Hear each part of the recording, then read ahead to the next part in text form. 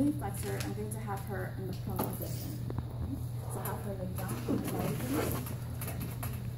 I'm going to do this knee so you can see better.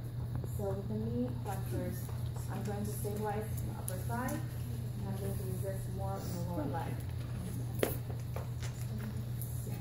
If I um, ask her, I could say, can you bring your heel closer to your bottom for me? Good. And I don't want her to come all the way down, right?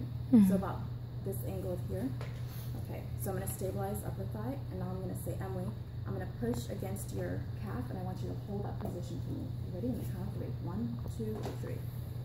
And I would resist. You have very strong knee flexors. so then for extensors, have her sitting. Okay? And you're gonna have this available for you during the practicum because you want to make sure that her leg is supported with a towel or pillow but you want to make sure that you prop the leg up just a little bit for knee extension. Okay?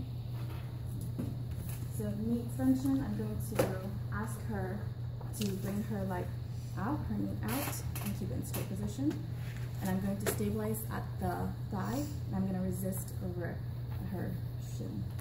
On the count of three, push down, I to hold that position for me. Two, three. Okay?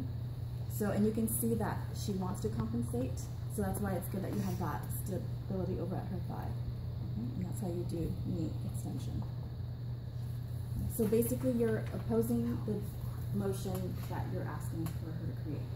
Okay, so if she's doing knee extension, you're to push her back into flexion. If she's doing knee flexion, push her back into extension.